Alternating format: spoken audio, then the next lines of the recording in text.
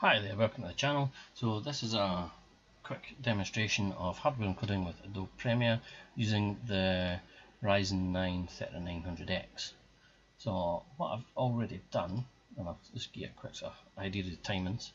So with these two clips, I'll just I'll, I'll show you a real-time one with just the one clip just to speed things up. But to use the two clips was around 25 minutes of footage. Using software encoding, like done it in 7 minutes 5 seconds and when I flipped over to hardware encoding it done it in 1 minute 51 so that's a huge increase in how quick it can do things. So what we're going to do is we're going to do it with just this one clip which is about 14 minutes long. Now I have already rendered the clip. So we'll go to export media and I'm going to take settings for for go for a Facebook one because that's where we'll put it. So we're going to, thing we're going to change is hardware to software. So what I'll do is I'm just going to stop watch on. And as you can see I've already done multiple tries with this. So this? We'll just call this S1, software test 1. And software encoding, so we'll just begin that. This up. So as you can see the processor's running almost flat out and the GPU isn't really doing anything. Choosing next to no video RAM. Uh, in fact I'll put this one on CUDA. So the graphics card's actually doing next to nothing and the CPU is just doing all the work. This is a 12 core 24 thread CPU and from what I've seen on other YouTube videos, anybody that's shown, shown how the hardware encoding works, it's always been an Intel based chip. As in previous versions of Premiere, you had to use the Intel's QuickSync. So you had to have an Intel i7 600 or 6000 plus or whatever. So any sort of chip newer than that works with it as well. Um, but in the recent update to 14.2, uh, you can do it with an AMD processor as well. So I'll just let this run.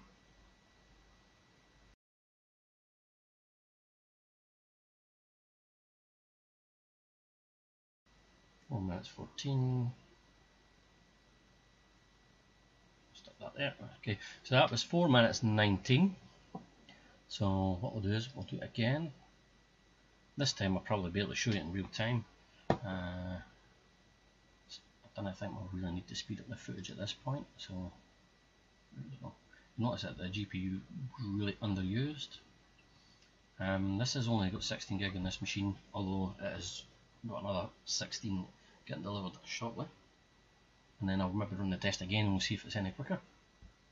If it's got me a RAM to use that kind of thing. So we'll go into export again. The only setting we're going to change is the hardware. just call this H1.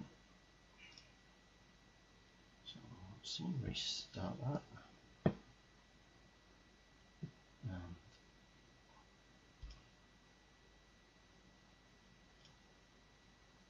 you can see the graphics card's up to 60%, 72%. It sort of varies a bit there. Uh, the processor's down quite a lot. I see that instead of taking like four minutes, it's literally going to take maybe just more than a minute. This is a lot faster just with this wee update, which is going to be a huge time saving to people like myself who are doing a lot of video editing.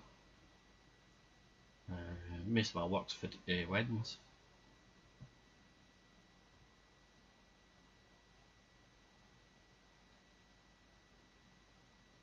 70% at 46 seconds.